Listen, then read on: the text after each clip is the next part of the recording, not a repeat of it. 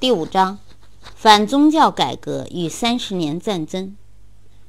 一五五六年十月，遭受着痛风之苦、未老先衰的查理五世，突然大彻大悟，把西班牙王位让给了儿子菲利普二世，并把帝国交给了弟弟罗马国王费迪南。而后，他归隐遁入，位如位于埃斯特雷马杜拉。的圣热罗尼摩德尤斯特修道院，直到一五五八年去世。第一节宗教冲突，在奥格斯堡宗教合约签署后的几年里，天主教和新教在德意志相对和谐地并存着，在很多地区使用同一所教堂，并在地方代议机构中开展合作。这两种宗教的信徒之间通婚的情况也很普遍，但是这种和谐共存的局面很快便被打破了。1545年至1563年的特兰托公会议于1564年1月颁布了其决议——特兰托会议信纲，在天主教会与新教会之间筑起了一道森严的壁垒。信纲规定。通俗拉丁文本圣经是唯一的正典。通俗拉丁文本圣经也叫做圣经通俗译本、拉丁通俗译本、拉丁通行本。它的旧约部分是泽罗姆从八三百八十三年起以希伯来圣经为依据翻译校订的古拉丁文译本。次经增补部分译自七十二字希腊文本。新约部分参照古拉丁文译本而改译的，八世纪末为西部各教会所普遍应用，十三世纪开始被称作通俗本。特兰托公会议后成为本书的专称，就是通俗拉丁文本圣经。马丁路德的维经主张遭到了谴责。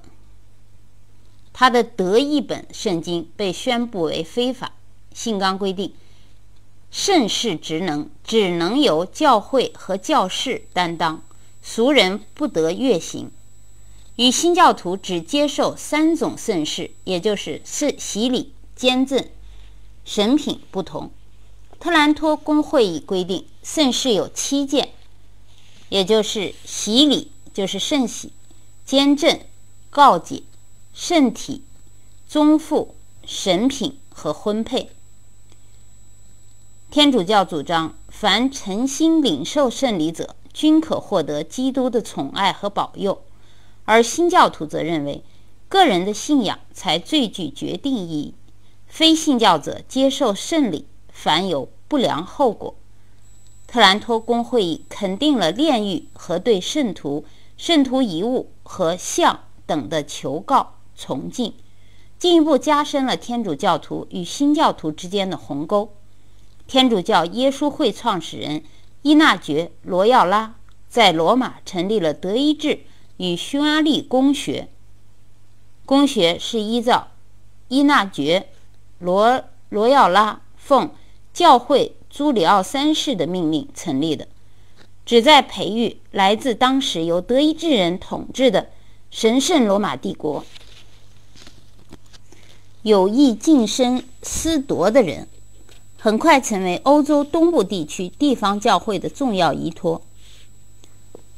严格按照托兰特兰托公会议确定的正统思想，培训讲德语的牧师，以图把信奉新教的德意志人重新拉回到天主教的怀抱。此时的德意志分裂成为三大排他性的宗教集团，即天主教派。德路德教派以及势力较小一些的兹利翁和加尔文主义教派，在斯堪的纳维亚、法国和西班牙，宗教改革与反宗教改革运动帮助他们实现了民族统一；而在德意志，却只能使之进一步分化成为以宗教划分阵线的若干个邦国和城市。导致不同地区的思想文化呈现出了极大的差异性，甚至一直延续到了今天。巴伐利亚公爵阿尔布莱希特五世，他是一五五零年至一五七七九年，作为天主教派的强有力领导人物，既有坚决实行特兰托公会议决议的热情，又决心增进巴伐利亚自身的利益。一五八二年。科隆大主教兼选侯杰布哈德·特鲁西塞斯冯·瓦尔德贝格改宗新教之后，似乎天主教派将在选侯团失去科隆这个重要的席位，大主教区的居民可能也将被迫改宗。但是，虔诚者威廉五世接替阿尔布莱希特五世担任巴伐利亚公爵之后。立即与西班牙结成了盟友，发动了1583年至1585年的科隆战争，把新教徒从科隆驱逐了出去。战后，威廉五世年仅29岁的弟弟恩斯特成为科隆大主教。虽然按照教规，担任此一职位者必须年满30岁，不过恩斯特这时的教会生涯已经非常引人注目了。他一五六六年担任弗莱辛主教时年仅十二岁。一五七三年，他得到了希尔德斯海姆主教区。一五八一年，他又得到了烈日主教区。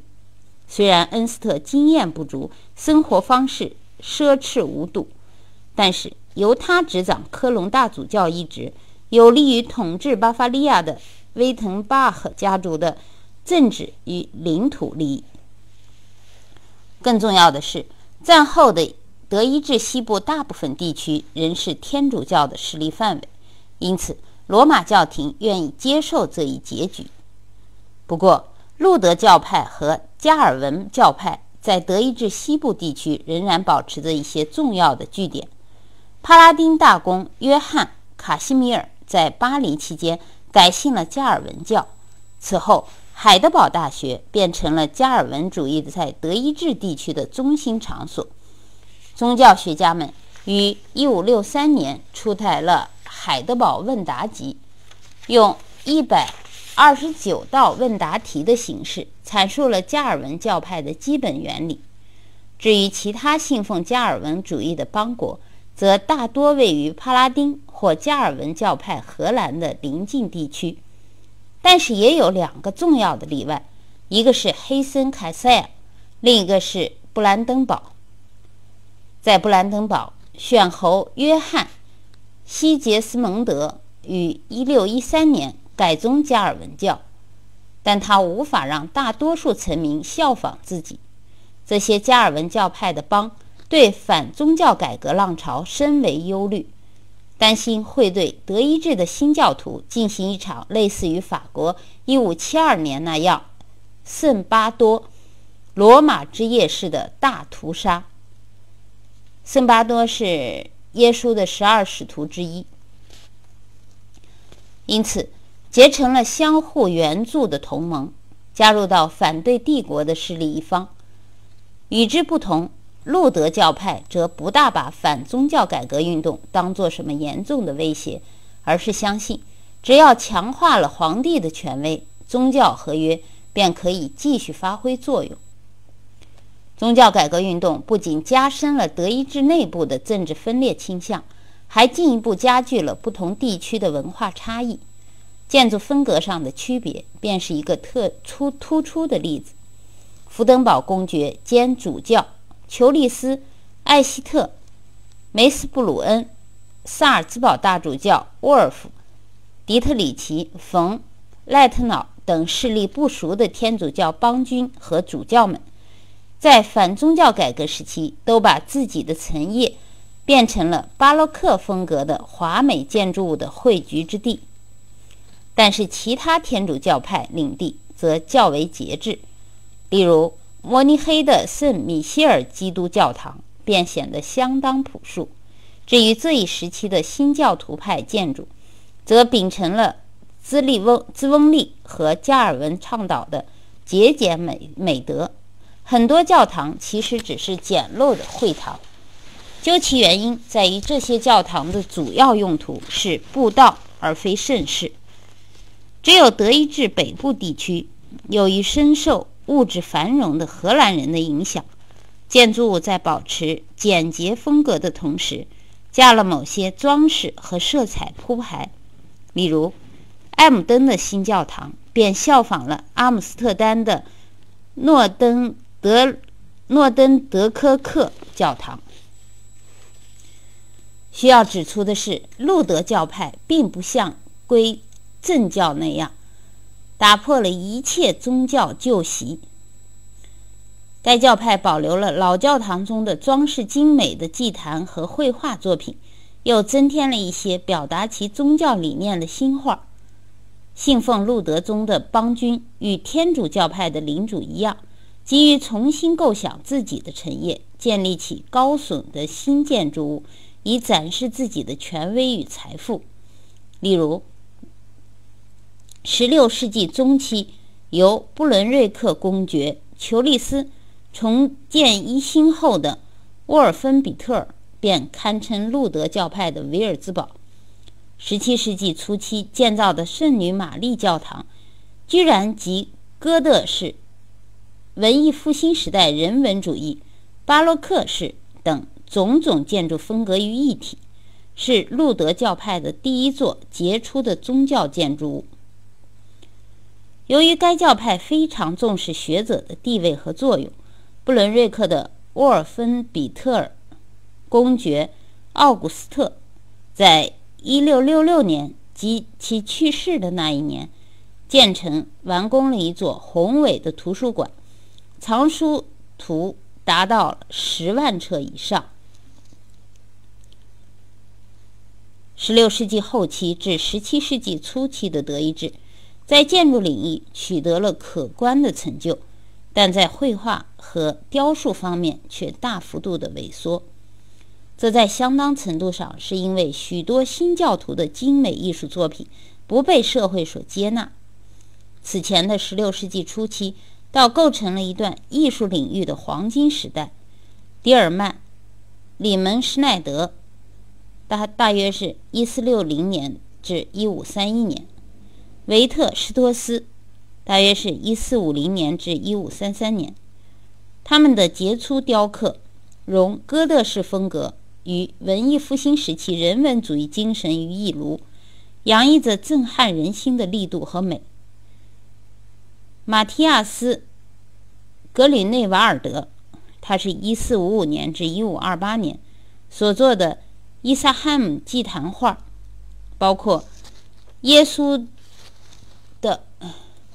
泽行、圣母领报、耶稣复活、圣安妮的诱惑等等，是世界祭坛画中最生动的作品之一。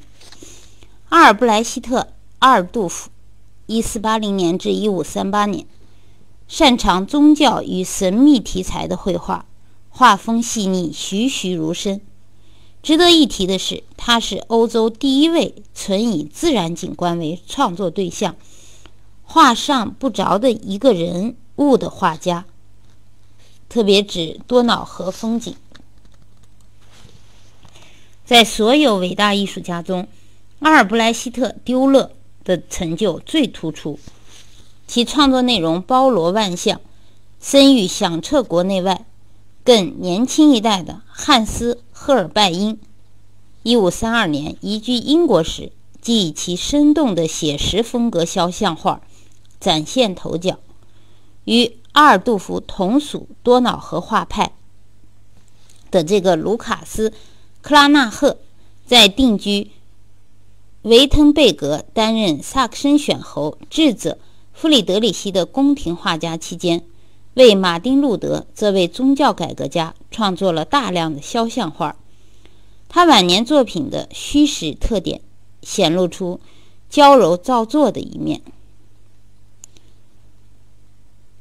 德意志画坛到了16世纪中期出现了衰退，部分原因来自经济因素。诚然，德意志的诸侯，不论是天主教派还是新教派，固然能够拿出大笔的金钱。延请盛名一时的来自意大利或者法国的艺术大师们。例如，巴伐利亚的鲁道夫二世就对朱斯佩·阿奇姆波尔多这位米兰的样式主义画家青睐有加。鲁道夫在赫拉斯钦城堡的宫廷，不仅是风格主义艺术的重要据点，既接纳了蒂古·布拉赫和约翰内斯·开普勒。同时，也汇集了形形色色的占星家、炼金术士和其他大言不惭、欺名盗士者。问题在于，不同类型的画家，这时在荷兰正得到蓬勃的发展；而在德意志，由于画家们无法从资产阶级那里获得必要的经济资助，为生计所迫，他们只得像路边的小贩那样，为客人画几幅肖像画。这一时期的大部分文学作品仍然是用拉丁文写作的，只是那些信奉新教的地区，为了使作品能够为更多的读者所接受，才开始试图使用当地的语言创作。至于天主教地区，不仅认为拉丁语是一种地位更高、更合乎教养的语言，而且把根植于萨克森和图林根的高地德语，就是。德国、奥地利、瑞士等地使用的标准语，原来是德意志中部、南部方言。把这种高地德语与新教主义画上了等号，而这种偏见将对后世造成深远的影响。例如，大多数德语文学作品是新教徒创作的，其中许多作者都是新教牧师的后代。这种情况将一直持续到十九世纪。又如，直到今天，天主教地区的居民所说的德语，往往仍有一种方言，而不是标准的德语。音乐受宗教改革运动的影响非常之巨。虽然加尔文认为音乐容易引发人们的淫欲，因而予以抨击。但是路德却把音乐视作上帝赐予人类的最美妙的礼物，并使其充分服务于宗教领域。德意志历史上第一位伟大的作曲家海因里希·许茨，他是一五八五年至一六七二年，就是一位新教徒。他只只创作声乐作品，其中大部分都是圣乐。他曾得到萨克森选侯约翰·乔治二世的资助。并于1619年在德累斯顿担任了其宫廷乐队的队长，直到1635年，这位选侯因三十年战争的开支已无力资助音乐家们，许茨才离开了德累斯顿。而在反宗教改革运动时期，音乐在天主教会却毫无地位可言，所以天主教地区基本上是世世俗音乐作品。尽管哈布斯堡王朝的皇帝们愿意出资帮助音乐家，但是直到18世纪，信奉天主教的南方才会诞生出真正的作曲家。